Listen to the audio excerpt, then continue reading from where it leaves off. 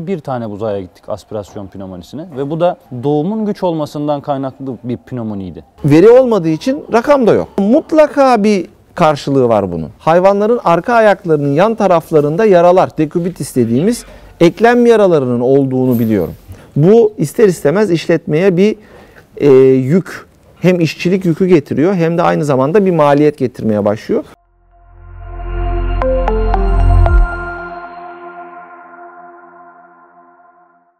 Sevgili seyirciler, değerli yetiştiriciler, ben veteriner hekim Burak Çelik. Bir bilinçli hayvancılık programıyla yine sizlerle birlikteyiz. Bu hafta aslında bugüne kadar yaptığımız programların e, ne kadar etkili olduğunu bir veteriner hekim arkadaşımıza sorarak e, bu programımızı bu şekilde yapmak istedik. Yanımızda bir veteriner hekim arkadaşımız var. İsterseniz önce onu tanıyarak başlayalım ama siz zaten onu tanıyorsunuz. Buyurun.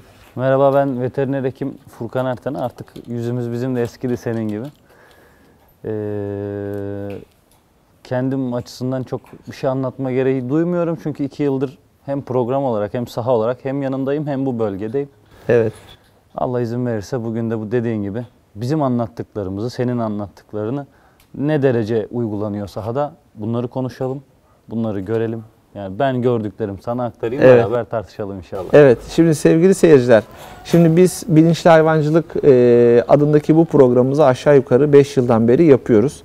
Amacımız e, hayvancılığın iyiye gittiği, kötüye gittiği konuları değil de daha çok e, hayvancılıkla ilgili üretici olarak, yetiştirici olarak ne gibi yanlışlar yapılıyor? Biz bu yanlışları e, anlatarak, e, söyleyerek, tartışarak ne kadar öğretebiliriz? Tabii biz bunları ne kadar çok öğretebilirsek bakımla ilgili, beslemeyle ilgili e, ya da işte hastalıklara karşı koruma ile ilgili siz üreticilerimiz ne kadar bilinçlenirse bizim de ülke olarak hayvancılığı o kadar daha iyi yaptığımızı bir ikincisi de e, hayvan verim kayıplarını, hayvan kayıplarını, buzağı kayıplarını, süt kayıplarını o derece aza indirmemizi hedeflemiştik bu programlarımızı yaparken.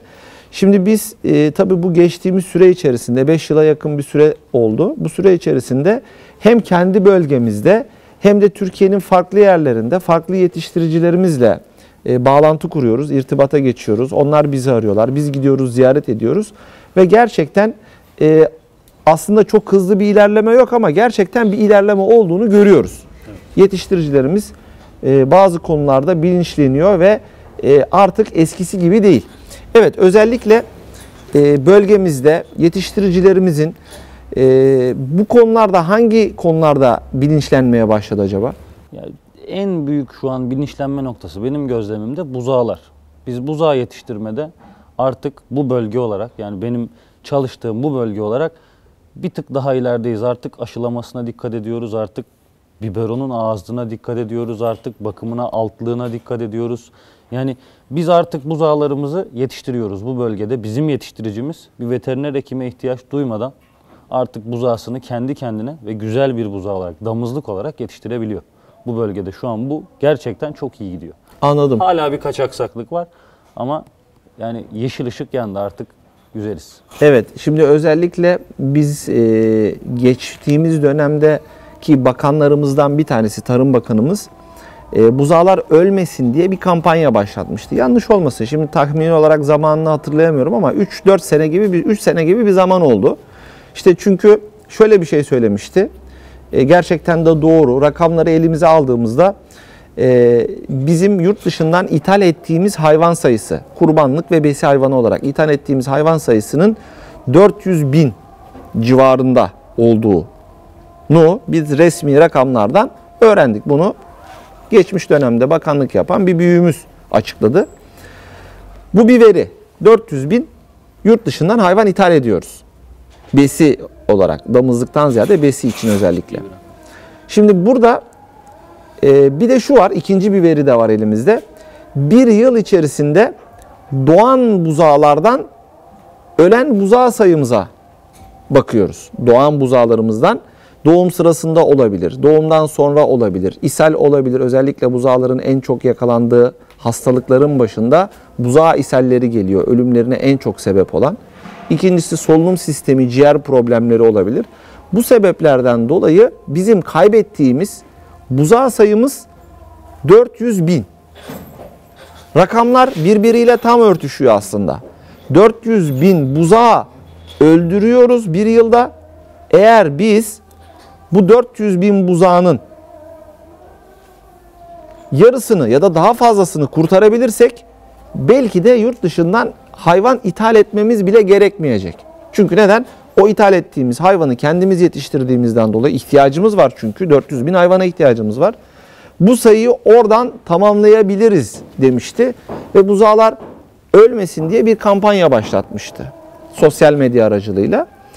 Biz de veteriner hekim olarak bu konuya önem verdik. Üzerinde durduk, çalıştık. Yaptığımız programlarda özellikle buzağların ölüm sebeplerini ve bu ölüm sebeplerinin önüne geçebilmek için neler yapılabileceği konuları çok konuştuk. Ve bunun neticesinde de gördüğümüz kadarıyla özellikle bölgemizde belki de araştırma yapılsa Türkiye'nin birçok yerinde buzağı ölümlerinin azaldığını söylüyorsunuz. Doğru mu? Evet. Şimdi e, biz isterseniz tabii bizi izleyen seyircilerimiz için bu buzağı ölümlerinin üzerinde yine duralım. Çünkü önemli bir konu. Amacımız mümkün mertebe hiç öldürmemek ama tabii öldürmemek mümkün değil. Mutlaka canlı hayvan. Ama biz bu buzağı ölümlerini %10-15 civarında bizim ülkemizde buzağı ölümleri.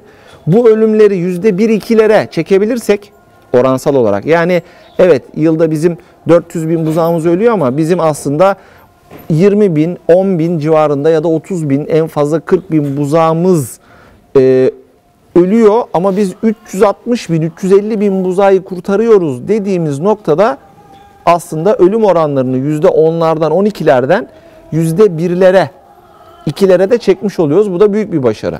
Evet. Şimdi özellikle buzağlarımız hangi sebeplerden dolayı ölüyordu? Buradan yine başlayalım. Şimdi şöyle biz seninle program yapmaya başlamazdan evvel bir biberon sıkıntısı vardı. Tam olarak bu bölgede. Yani biz hiç gitmiyorsak ayda belki 30 tane buzaya aspirasyon pneumonisine gidiyorduk. Yani hep bir süt ciğere kaçıyor. Hep bir süt ciğere kaçıyor. Tedavi, tedavi, tedavi. Ve tedavi kiminde cevap alınıyor, kiminde alınmıyor. Ciğere kaçan süt miktarına göre. Yani biz bunu mesela geçtiğimiz ay biz belki bir tane buzaya gittik aspirasyon pneumonisine. Ve bu da sütten kaynaklı değil, doğumun güç olmasından kaynaklı bir pneumoniydi. Yani A- anladım. ciğer problemi olarak bakarsak biz biberonun başlığını tedavi ederek Evet. buzağları toparladık. Bu Anladım. bölgede böyle bir sıkıntıyı aştık yani. Anladım. Eskiden nasıldı biberonlarımızın başlıkları? Şimdi nasıl oldu?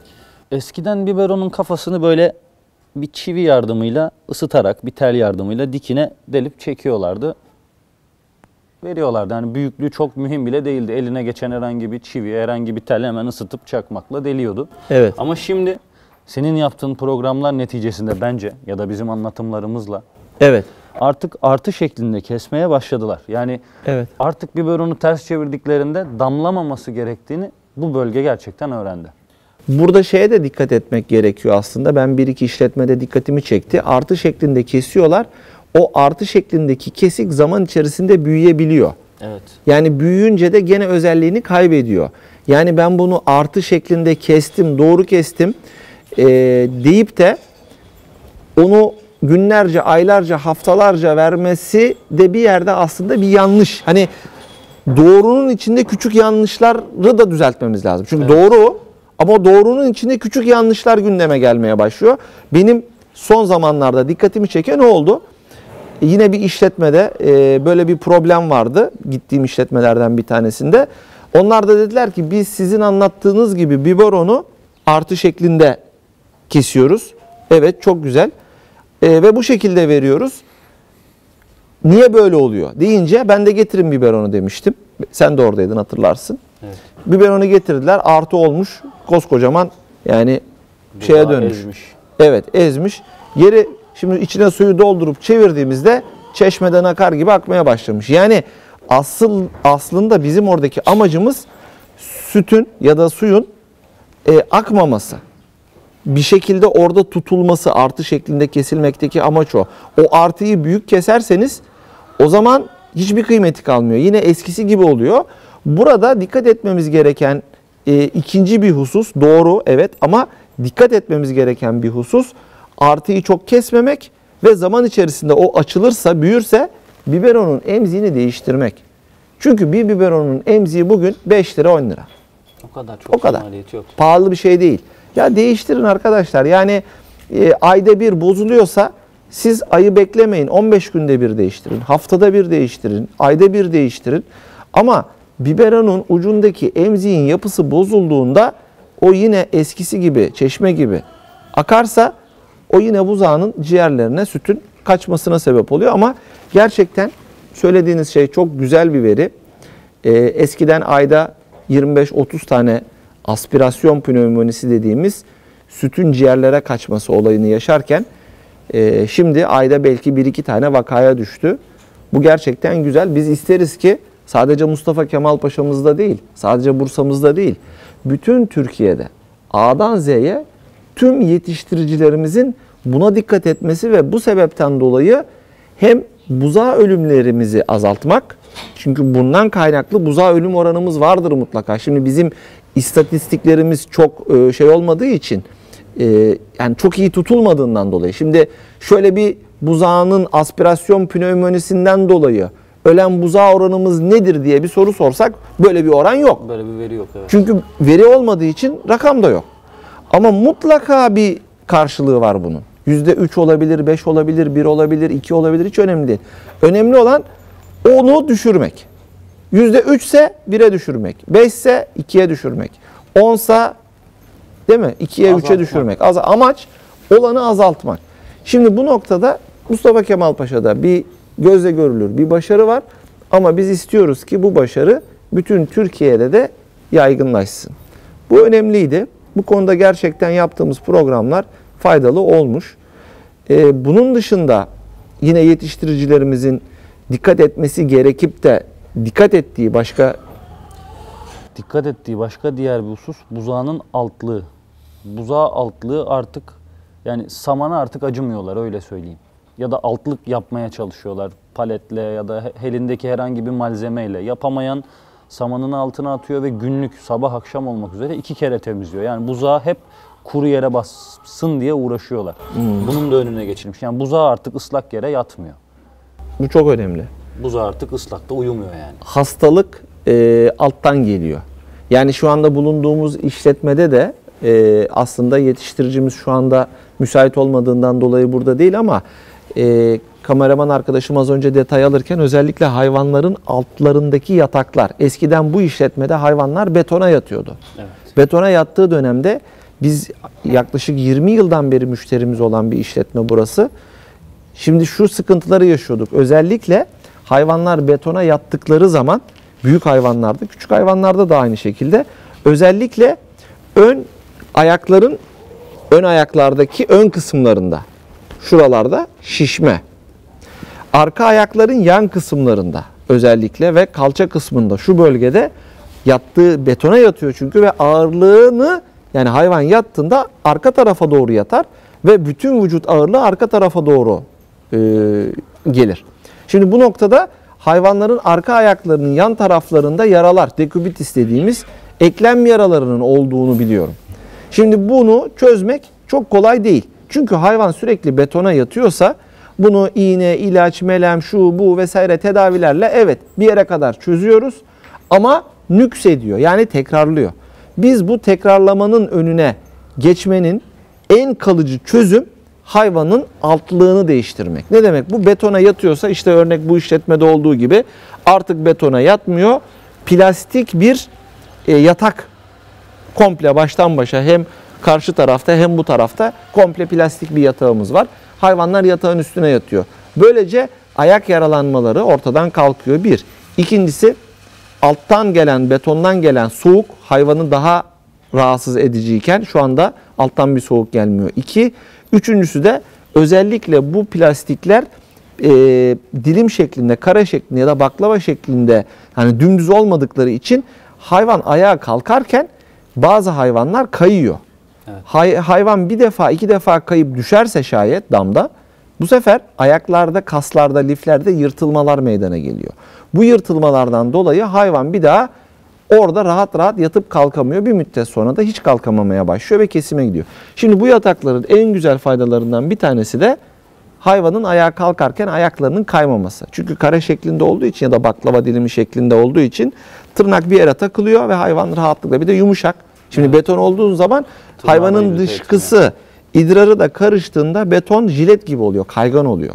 Hayvanın tırnakları da sert olduğu için uç kısımları kalkarken bu sefer arkaya doğru ya da yana doğru kayabiliyor. Ama plastik olduğunda hafiften göçüyor ve tırnak oraya tutunuyor Evet. ve hayvan rahatlıkla ayağa kalkıyor. Bu açıdan özellikle hayvanların altlarının kuru ve temiz olması, kuru olması özellikle ya da alttaki zeminin kaygan olmaması çok önemli. Bunu buzağlarda da sağlayabilirsek o zaman buzağı da sağlıklı bir şekilde yetiştirmiş oluyoruz. Birçok işletmede örnek olarak gördüğüm basit bir metot, basit bir yöntem. Tabii ki altı toprak olabilir ve siz de onun üzerine saman atabilirsiniz. Bu kuru bir şekilde bir zemin sağlar buzağı ama sadece kuru zemini sürekli de o kuru zemini tutamazsınız. Çünkü hayvan idrarını yapıyor, dışkısını yapıyor. Orası kirleniyor. Onu tekrar atmanız gerekiyor. Yani samanı tekrar temizlemeniz gerekiyor. Yeni saman dök koymanız lazım. Bu ister istemez işletmeye bir e, yük hem işçilik yükü getiriyor hem de aynı zamanda bir maliyet getirmeye başlıyor. Bu noktada tahta paletler var. Tahta palet. Palet bildiğimiz tahtadan yapılmış paletler var. Bu paletlerin araları aslında açık. Ama siz e, diğer paletlerden söktüğünüz parçaları da araya koyarak tabii ki sıfıra sıfır değil. Hafif çok hafif aralık kadar. olacak şekilde araları da diğer tahtalar çakarsanız bu sefer onun üzerine de buzağı çünkü o genelde o paletlerin büyüklüğü genelde e, kulübelerin içine sığıyor. Genel olarak söylüyorum. Sığmıyorsa da kesilebilir. Evet. Ve böylece işletmelere gerçekten maliyeti çok düşük ya da maliyeti yok denecek kadar az. Çünkü paleti satın almaya gerek yok çoğu yerde. Ee, palet birçok yerde bulunabiliyor. Kenarda köşede atılmış bile olabiliyor. Bu paletleri elden geçirerek aralarına yine tahta parçaları, diğer paletlerden çıkardığımız tahta parçalarını koyarak öyle hafif aralıklı bir şekilde palet tahta paletleri yaptığımızda ve buzağı da bunun üstüne koyduğumuzda altına saman atmamıza bile gerek kalmayacak. Çünkü saman da bir maliyet. Balyesine baksanız nereden baksanız bugün 20 lira 30 lira balyesi olan bir samanı ziyan etmeye gerek yok. Yerden yüksek palet olduğu için aşağı yukarı 15-20 santim yerden yüksekliği var.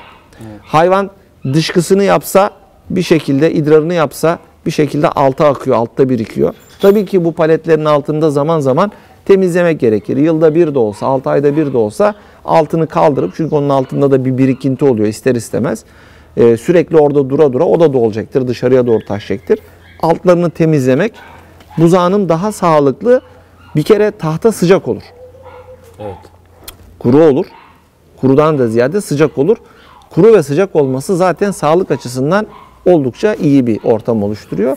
Özellikle yetiştiricilerimize hani biz buzağların altına ne yapabiliriz dediği yerde çok basit alın size tahta palet.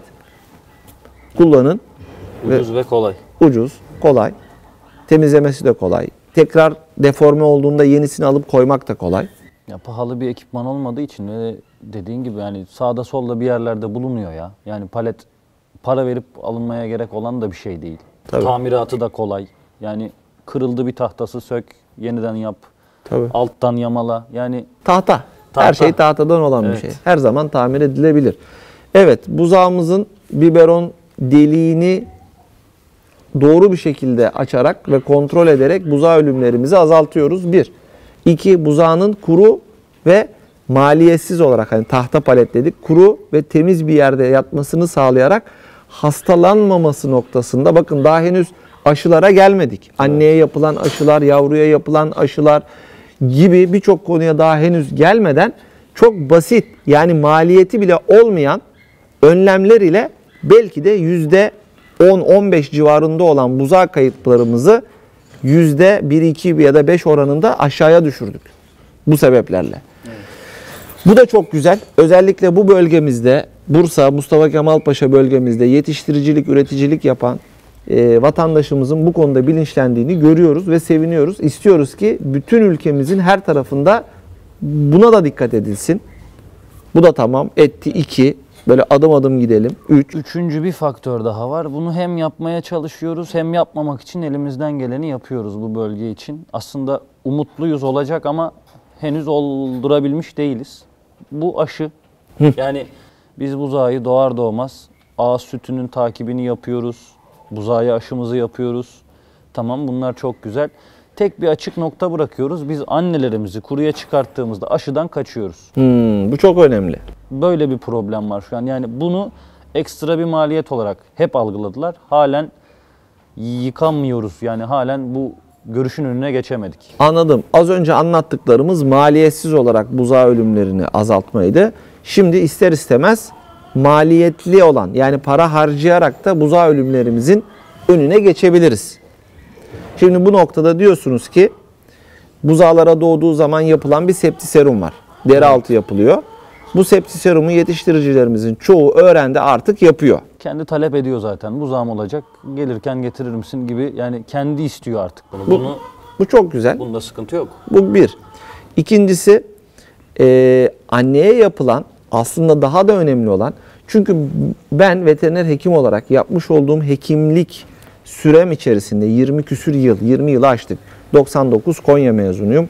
Yıl 2021, 22 yıl olmuş.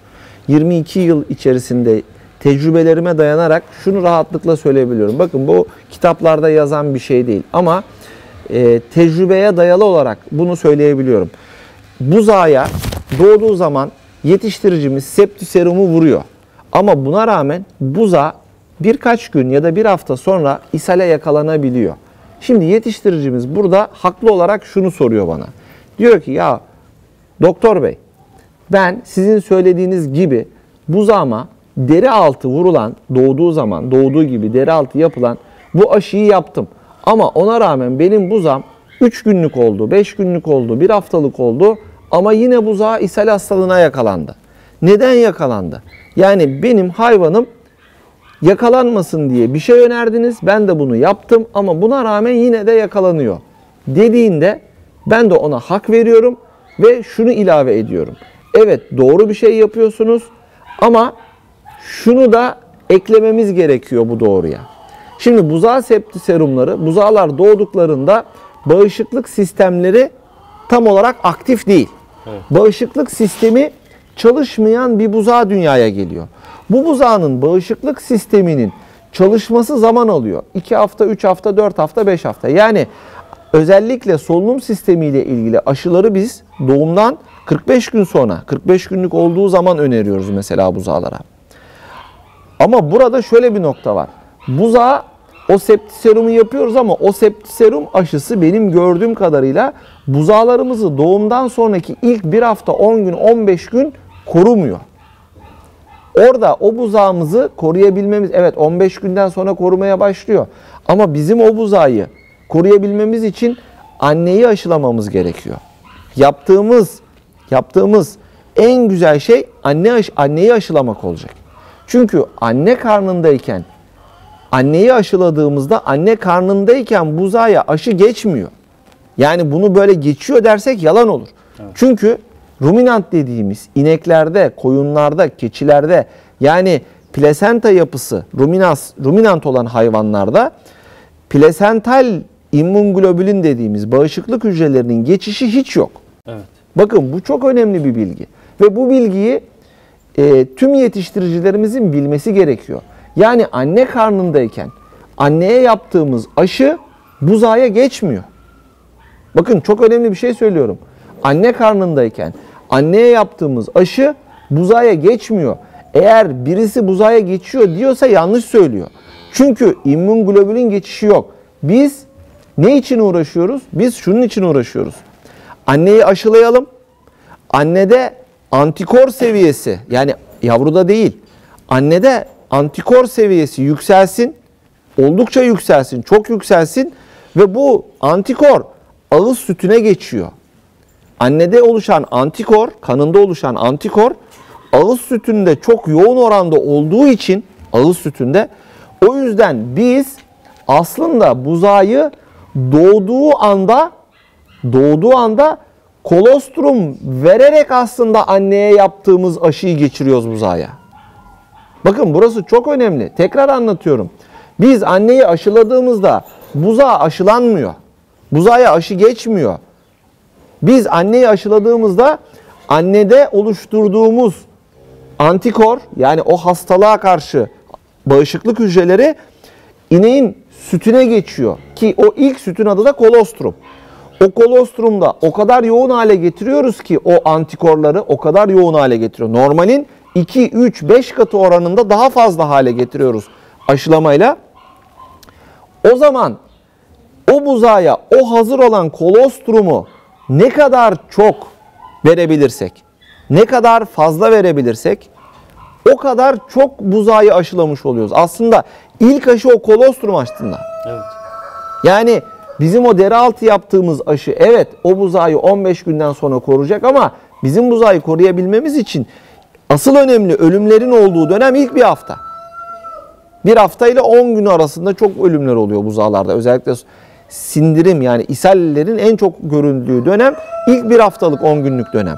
İşte biz bu ilk bir haftalık 10 günlük dönemde o buzağı koruyabilmemizin olmazsa olmaz yöntemi annede aşırı kolostrum meydana getirip bu kolostrumu da ağız yoluyla immunglobulinleri ağız yoluyla yavruya verdiğimiz anda en güzel bağışıklığı o anda elde ediyoruz. Evet. O yüzden ağız sütü çok önemli. O yüzden anne aşılanması lazım. Ve çok önemli olan diğer bir konu yine ben eskiden de üzerinde çok ısrarla dururdum. İneklerimizin memeleri doğum yaptığında genellikle kirli oluyor. Çünkü hayvan dışarıda yatıyor, kalkıyor, yatıyor, kalkıyor, yatıyor, kalkıyor, stres oluyor, sancı oluyor, doğum başlıyor. O doğumu yapana kadar bir sürü zahmet çekiyor. O arada kaç defa yatıp kalkıyor. İster istemez altı ne kadar temiz yapabilirsek tabii ki o kadar iyiyiz. Temiz bir altlık serdiğimiz bir yerde olursa memeler genellikle temiz oluyor. Ama dam ortamımızda bunu sağlamak zor oluyor. Genelde memeler kirli oluyor. Ve memelerin kirli olması o ağız sütünü sağarken o memenin üzerinde bulunan dışkı artıklarını bazen sıvı şekilde olabilir damlar bazen de katı şekilde olabilir içine düşer. Bu e, dışkı parçalarını, dışkı kalıntılarını sütün içerisine kesinlikle düşürmememiz gerekiyor. Çünkü direkt bağırsaklarda açık olan immunglobulin geçişi ne açık olan o delik dediğimiz porlar aynı zamanda bakteri verirsen bakteri de geçiyor. Yani çok önemli bir şey söylüyorum arkadaşlar. Yani dünyanın en önemli şeyini söylüyorum şu anda ben size ya. Biz Hanne'yi aşılamışık, boşa gitti. Yavruyu aşılamışık, boşa gitti. Biberonun emziğini güzel delmişik, boşa gitti. Altını temiz tutmuşuk, boşa gitti. Neden? Çünkü biz o ağız sütünü kirli bir memeden sağıp buzağa içiriyorsak arkadaşlar bunların hepsini biz boşa yaptık ya. Her şey boşa gitmiş oldu. O zaman vatandaş da anlamıyor. Diyor ki ya doktor bey ben her şeyi yapmama rağmen benim bu buzağım niye böyle oldu? Niye hasta oldu? Niye göbeği şişti? Niye eklemleri şişti? Niye şu hastalığa yakalandı? Yani bizim işimiz çok hassas bir iş. Bizim işimiz zincirin halkalarına benziyor. Zincirin halkalarına. Zincirin halkaları birbirine takılıdır değil mi bu şekilde? Hangi halka koparsa kopsun o zincir işe yaramaz. Şimdi ben diyemem ki size birinci halka çok önemli. Yo ikinci halka da çok önemli. Hayır. Bence üçüncü halka daha önemli. Hayır. Dördüncü halka. Hayır. Beşi. Hepsi önemli arkadaşım. Yani birinciyle, beşinciyle, onuncuyla, yirminciyle işimiz yok. Bütün zincirin her halkası önemli. Bir halkayı, bütün her şeyi tam yaptık. Ama biberonun emzini yanlış deldik. Bu sefer aspirasyon pneumonisinden kaybediyoruz. Hepsini tam yaptık. Altı su gibi ıslak. Yine kaybediyoruz. Hepsini tam yaptık. Ama ağız sütünü kirli memeden sağdık. O dışkıyla bokla karışmış sütü buzağın ağzına dayadık. Porların hepsi açıkken bağırsakta o kirli sütü lopur lopur lopur işte. Yine Hastalığı yanlış yaptık verdik. İşte hangi zinciri kopartırsanız kopartın orada sağlıkla ilgili problem mutlaka yaşıyoruz. O yüzden arkadaşlar anlattığım şey çok önemliydi. Yaptığımız şeyler çok güzel, çok doğru şeyler ama küçücük bir hata yapıp bütün yanlışı yok etmeyelim. Çünkü o zincir koptuğu anda bütün doğruların hepsi bir anda gidiyor. Hepsi gidiyor, kayboluyor gidiyor. Evet.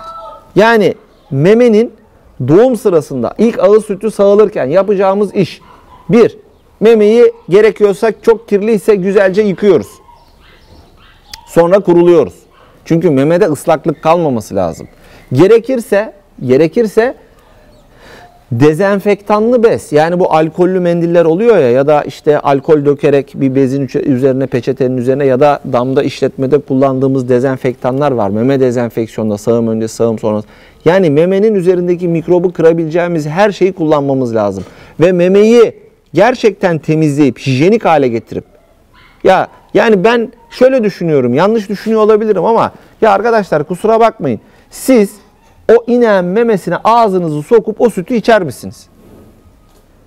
O az önce o buzağıya o sütü sağdığımız meme var ya o memeye ağzımızı memeye sokup süt içer misiniz? Yok arkadaş midem bulanır içemem diyorsan bitti kardeşim o sütü buzağıya verme. Ama evet kardeşim ben bu memeden bu sütü içerim diyorsan abi o zaman o buzağı da içer o sütü sıkıntı yok. Temizlemişsin. Şimdi mikroplar Mikropların şöyle bir özelliği var. Elimizde mikrop var değil mi? Biz bunu suyla yıkadığımızda gitmiyor. Evet. Gitmiyor arkadaşım. Evet benim ellerim tertemiz. Az önce de suyla yıkadım. Pırıl pırıl. Değil. Evet elimiz e, kaba partikül olarak pislik yok. Ama elimizde bakterinin ölmesi için bir dezenfektan ya da bir sabun, alkali ya da asit neyse. Yani mikrobu öldürecek bir şey kullanmamız gerekiyor. Evet. Şimdi yetiştiricilerimizin en çok hata yaptığı konulardan bir tanesi şu. Ya diyor benim damım diyor tertemiz olur diyor. Pırıl pırıl olur diyor. Hep yıkarım diyor. Şöyle yaparım. Tamam su kaba pisliği götürür. Ama bakteriyi öldürmez. Bakteri orada sadece yoğunluğu azalmış bir şekilde hala vardır. Sen o bakteriyi orada öldürmek istiyorsan orayı ilaçlaman gerekir. Bir dezenfektanla ya da bir hipoyla. Doğru mu? Doğru. Yani bir dezenfektan bir maddeyle orayı ilaçlarsan mikrobu öldürebilirsin. Dünyada mikroplar suyla ölmez. Bizim yetiştiricilerimizin yanlış bildiği konulardan bir tanesi de bu. Mikrobun suyla öleceğini zannediyor. Evet. Ben çok güzel yıkıyorum diyor. Sağımdan önce ibrikle vuruyor suyu. Heh. Çoğu kurulamıyor bile. Temiz oldu değil mi? Çoğu kurulamıyor. Yani kaba dışkıyı sıyırıyor evet. Evet ama mikrop deyince Ya dışkının olduğu yerde mikrop olmaz mı? mikrop kalıyor. İşte o yüzden memeyi özellikle ağız sütü ve birinci ağız sütü çok önemli olduğu için oraya özellikle odaklanalım. Yani buzağa vereceğimiz ilk birinci ağız sütü memeyi gerekirse alkollü mendille silelim, kurulayalım. Ondan sonra o sütü alalım En memeden. azından ilk süt için gerçekten bu çok kıymetli. Yani ilk süt için çünkü şimdi anlattığın daha önceki programlarda da aslında buna değindik. Evet. Yani memenin temizliği, kolostrumun takibi, kaliteli kolostrum hep hep anlattığımız şeyler aslında. Ama yani hiç değilse en azından ilk doğduğu anda o ağız sütünü sağarken memeyi gerçekten dezenfektan, alkol, dediğin gibi anlattığın gibi işte ilaçla yani temizleyebildiğimiz kadar yapabildiğimiz en iyi şekilde temizleyip kolostrumu verirsek çünkü buza açık, tüm etkenlere açık. Bu antikorlara da açık, dışarıdaki bakterilere de açık ve kendi sistemi sıfır. Annesinden ne gelirse yapacağız. Ve evet ya ben rica ediyorum hangi kameraya bakmam gerekiyor bilmiyorum ama rica ediyorum yetiştiriciden en azından ilk süt yani ilk ağız sütünü verirken en azından buna dikkat edelim. Evet. Sonra zaten porlar kapanıyor. O ilk içtiği andaki açıklık, porlardaki açıklık 1, 2, 3, 3. günden sonra zaten porlar tamamen kapanmış oluyor. Ama ilk andaki açıklık en büyük. Yani bütün mikrobu, kolostrumu, immünoglobülinleri tamamen aldığı açıklık ya. O yüzden ilki çok önemli. İkinci, üçüncüden sonra o kadar önemi kalmıyor. Evet önemli. Ama birinci kadar hiçbir zaman olmuyor. Evet. Evet, şimdi gelelim buzağımızla ilgili parasal olarak da yaptık. Yani aşımızı yaptık, e, septi serumumuzu yaptık. Kolostrumu içinde memeyi temizledik. Ona para gerekmiyor. Birazcık dikkat edersek oluyor o iş. Şimdi buzağlarımızın ölmemesi için başka aklımıza ne geliyor? Mesela benim aklıma şu geldi. Ee, özellikle buzağı besleme konusuna çünkü buzağı doğdu. Yani her şey oldu. Doğum gerçekleşti. Her şey tamam. Buzağı artık beslenmesi gerekiyor. E, ağız, ağız sütüne ne kadar dikkat edeceğini de söyledik. O da tamam. E artık süt ve yem. Yem başlıyor artık yavaş yavaş. Hani yeme geçilmesi lazım. Yem verilmesi lazım. Temiz su verilmesi lazım. Bunu ne zaman vereceğiz? Vereceğiz mi, vermeyeceğiz mi? Hep sütle mi besleyeceğiz? O zaman bunun sorusunu ben sana şöyle sorayım. Geçen gün başıma gelen bir rahatsızlık bir buçuk aylık bir buzağı. Evet. Birçok şey harika yapılmış, ayrı bölmede bakılmış, altı kuru. Sütünü güzel içmiyor diye gittim. Yani sordum, ettim, anamnez almaya çalışıyorum, bilgi almaya çalışıyorum. Hep bir kısık bir bilgi, bir şey saklanıyor belli ki. Yani gözle görülür bir rahatsızlığı yok, diğerlerinde problemi yok. Altı ıslak değil, her şey yolunda gözüküyor. Bir buçuk aylık buzağa büyüsün diye arpa yedirmiş. Hmm. Arpa. Yani zarla zorla bu bilgiyi çıkarttım içinden ve ben buradan yürüdüm tedavime. Ben başarılı oldum. Şimdi sana sormak istiyorum. Ne kadar sürede geçilmeli ve ben bunu ciddi olarak sormak istiyorum. Yani ne sürede neye geçilmeli, ne yapılmalı? Şimdi özellikle e, buzağlarımızda buzağı beslememiz de tabii ki birçok e, ziraat mühendisi arkadaşımız ve veteriner hekim arkadaşımız yapmış olduğu televizyon programlarında bunlardan bahsediyor mutlaka ama biz de bahsedelim. Şimdi öncelikle şöyle bir durum var. Buzağı için öncelikli gıda süt. Doğru. Bu sütü ne kadar süre içecek? Bu sütü ben bütün programlarımda hep şunu ısrarla söyledim. Bunun süresini günle belirlemek yanlış. Mesela 45 gün verelim. Bir süre. Yanlış. 60 gün verelim. Yanlış. 70 gün verelim. Yanlış. 90 gün verelim. Yanlış. Sen diyeceksin ki doğrusu ne? Doğrusu günle ölçmek değil bence. Doğrusu günle ölçmek değil. Yani bu buza eğer ihtiyacını yemden karşılayabiliyorsa 45 günlükken de kesilebilir. 50 günlükken de 60 günlükken de 70 günlükken de 90 günlükken de. Yani bir buzağı vardır 90 günlük olduğunda sütten kesilmesi gerekir. Bir buzağı vardır 60 günlük olduğunda sütten kesilmesi gerekir. Bir buzağı vardır 45 günlük olduğunda sütten kesilmesi gerekir. Bak çok net ve açık söylüyorum. Yani standart kardeşim ben işletmemde sütten buzağlarımı 60 günlük olunca kesiyorum demek yanlış. Bana göre. 90 günlük olunca kesiyorum o da yanlış. Gün belirlemek bence çok doğru bir şey değil. Doğrusu ne? Doğrusu şu. Buzağımızın bir ihtiyacı var. Günlük. Büyümesi için, gelişmesi için, günlük metabolizması için bir ihtiyacı var. Bunu ilk zamanları direkt sütle karşılıyor. Sütle. Tamam. Ama bir müddet sonra hayvan büyümeye başladıkça süt bunu karşılamamaya başlayacak.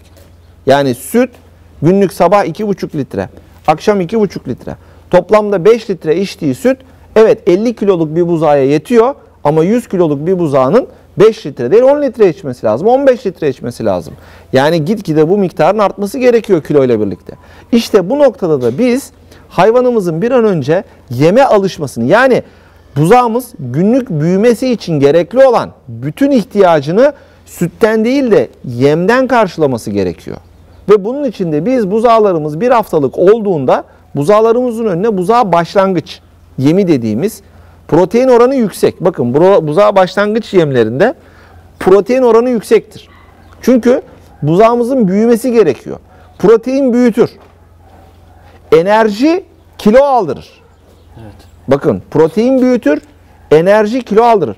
O yüzden biz buzağlarımıza protein oranı yüksek yemleri bir haftalık olduğunda yavaş yavaş alıştırmamız lazım.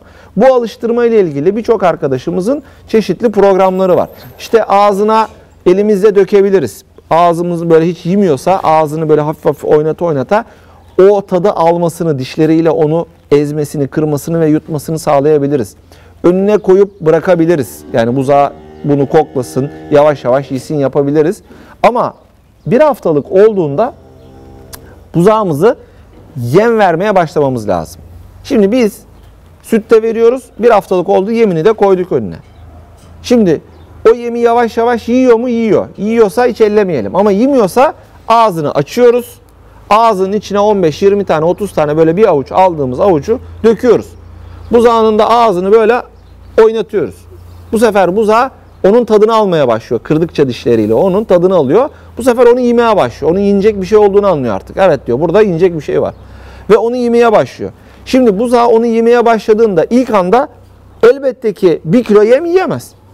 Yiyeceği 50 gram, 100 gram belki de yem yiyor ilk günlerde. Sonra onu yavaş yavaş bünyesi büyüdükçe arttırmaya başlıyor. 100 gram yerken 200 gram, 300 gram, 400 gram yemeye başlıyor. 500 gram yemeye başlıyor. 600 gram yemeye başlıyor. Biz de bu sırada buzağımızı sütle beslerken o yem arttıkça, yemi tüketimi arttıkça buzağımızın da süt miktarını düşürmemiz gerekiyor. Buzağımızın süt miktarını biz düşürürsek, buzağımızın süt miktarını düşürürsek, bakın bunu kademeli olarak yapmamız lazım ve hayvanı aç bırakmadan yapmamız lazım. Yani sütü bir anda, sütü bir anda lap diye düşürürsek buzağı aç kalır. Yemi de yiyemiyor. Yemediği için yemi. Bu sefer buzağımız aç kalır. Aç kalırsa da bu sefer hastalanır. Evet. Biz sütü 2,5 kilodan 2 kiloya düşürdüğümüzde hayvan bakacak ki karnı doymuyor, yem, yemi arttıracak. 200 gram yediği yemi 300 gram yemeye başlayacak. Biz 2 kilodan 1,5 kiloya çektiğimizde sütü bu sefer o 200 gram 500 grama çıkacak. 500 gram yem yemeye başlayacak. Çünkü karnı öyle doyuyor. Biz sütü 1 kiloya çektiğimizde aşağı düşürdüğümüzde bu sefer 600 gram yemeye başlayacak. Yarım kiloya çektiğimizde 700 gram yemeye başlayacak. Ha, hesap şu. Buza kaç günlükken sütten çıkar sorusu yanlış. Buza ne kadar yem yerken sütten çıkar sorusu doğru soru. Buzağa ne kadar yem yerken sütten çıkar? Buzağa 1 kilo yemi tüketirse sütten çıkabilir. Ama burada da az önce anlattığım gibi birden hayvan 1 kilo yem yiyor ben de 2,5 kilo süt veriyorum. Ha bu 1 kilo yemi yiyor ya ben bu sütü artık vermeyeyim dersen hayvan yine krize girer. Gene hatalı olur. Gene hatalı olur. Bakın arkadaşlar çok basit. 2,5'tan 2'ye, 1,5'a, 1'e, yarıma, sıfıra indiriyoruz. Bu arada sütü azaltırken de sürekli tükettiği yem miktarını kontrol ediyoruz. Bu hayvan 200 gramdan 300 grama çıkıyor mu? Evet çıkıyor. 500 grama çıkıyor mu? Çıkıyor. 600, 700, 800 evet çıktı. Ben şu anda yarım kilo süt veriyorum. Hayvan 800 gram da yem yiyor. Doğru yoldayız. Şimdi son aşama ben sütü keserim. Hayvan da 1 kilo yem tüketiyor mu? Evet tüketiyor. Şu anda bugün hayvan 1 kilo yem tüketiyorsa dün ve önceki günde benim yarım kilo süt vermiş olmam gerekiyor. Tamam ben şimdi bunu bu yarım kilo sütü de keserim. Böylece hayvan rahatlıkla sütten çıkar. Şimdi gelelim senin soruna. Teknik detayı verdik. Altyapıyı hazırladık. Şimdi binayı dikebiliriz yukarıya doğru. İstersen gökdelen dikelim bu bina, bu bilginin üstüne. Arpa enerji içeriği yüksek, protein içeriği düşüktür. O yüzden hayvanlarda arpayı inekler bile fazla yerse asidoz olur. Eğer buzağa alışmadan fazla miktarda yerse buzağa da asidoz olur. Ayaklarına vurur, işkembesine vurur. İşkembesini dümdüz yapar. O papillaların oluşması gereken işkembe dümdüz olur. Böylece ishale dönüştürür ve iyileşmeyen bir kronik ishal tablosuyla karşı karşıya kalabiliriz. Arpa burada doğru bir yem tek başına doğru değil. Şunu yapabilir yetiştiricimiz eğer teknik bir destek alabilirse bir hekim ya da ziraat mühendisi arkadaştan e, buzağı yemlerimizin protein oranı 22-21 civarındadır. 22 ile 23 aralığındadır. O civarda olması gerekiyor. O proteine denk gelecek bir karışımı yapar, yaparsa olur. Yani nasıl ne demek istiyorum? İşte ayçiçeği küspesi, pamuk e, pamuğa gerek yok. Soya fasulyesinin küspesi ve arpa ezmesi ve gerekirse mısır ezmesi de olur. Bir de kepek olabilir. Bu üçlü dörtlü karışımı yaparak o proteini ve enerji yani buzağa başlangıç yemindeki protein ve enerjiyi sağlayacak şekilde kendi karışımıyla bir yem yapıp bunu da verebilir. Ama sadece arpa yanlış. Sadece mısır yanlış. Sadece ayçiçeği küspesi, soya küspesi yanlış. Burada o yanlışı yapmış. Dengeli bir yem vermemiş. Sadece enerjisi yüksek bir yem verdiğinden dolayı buzağımızı asidoza sokmuş. Bundan dolayı da metabolik asidoz şekillenmiş. çok çok ani bir geçiş. Yani az önce aslında o geçişini sen anlattın. Güzel güzel aslında izah ettin. Yani ben sanki bunu bir programında izlemiştim senin. Bir daha canlı canlı dinlemiş oldum yanında. Yani bir buçuk aya kadar hiçbir şey vermeyip bir anda yani enerjisi eksik gibi geldi dedi. Hmm. Yani böyle bir şey yok. Böyle bir bilgi yok. Buzağı enerjim eksik demez. Bir buçuk ay sütle beslediysen zaten yanlış yapmışsındır Tabii. gibi gibi gibi bir hatası vardı. Evet. Umarım izler. inşallah. En azından izlemese de diğer yetiştiricilerimiz bu tip hataları inşallah yapmazlar. İnşallah. Evet. Çok teşekkür ediyoruz. Çok sağ olun programımıza katıldığınız özellikle uzun zamandan beri sizinle de program yapamamıştık. Bir fırsat oldu. Ee, inşallah yetiştiricilerimiz için faydalı olmuştur. Ee, teşekkür ediyorum. Sağ olun. Ben teşekkür ederim. Evet sevgili seyirciler, değerli yetiştiriciler bu haftaki programımızın da sonuna geldik. Çok önemli konulara değindik. Gerçekten elinize bir kalem, kağıt alarak e, bu programları tekrar tekrar izlemenizi ve aldığınız notları kafanızda tamamen yer ettikten sonra mutlaka birer birer uygulamanızı istiyoruz. Önümüzdeki haftaya görüşmek üzere. Hoşçakalın, esen kalın.